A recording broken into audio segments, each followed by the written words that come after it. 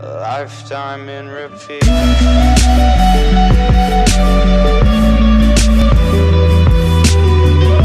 Hello guys, what's going on? ProThief here, and today we've got a new video, and this is a rare paint job um, sort of video. We're doing new series around the channel, so comment down what you think, and smack the thumbs up. And you want to go ahead and go to Los Santos Customs, and you want to go to respray, and you want to go to primary, and then you want to go to matte, and you want to have the red colour. So after that, you want to go into secondary colours, and obviously go into matte again, and click red once again.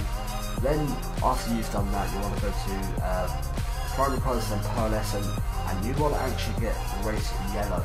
This is the. Uh, this is the thing that will give it sort of the lava effect. It's called uh, race yellow. So I hope you guys uh, do like this colour. I actually really like it. It gives that nice effect in the light where it's shining. So it's really sick colour. So we're just going to uh, come out of the Santos Customs and now we have that colour. So this has been a different video. Hope you guys did enjoy this video because it is so different around my channel and I would quite like um, this to carry on. So comment down what you think, subscribe if you're new, and thank you for 600 subs. It's been amazing. Thank you for all the support. So hello to all the subscribers. I'll see you guys in the next video.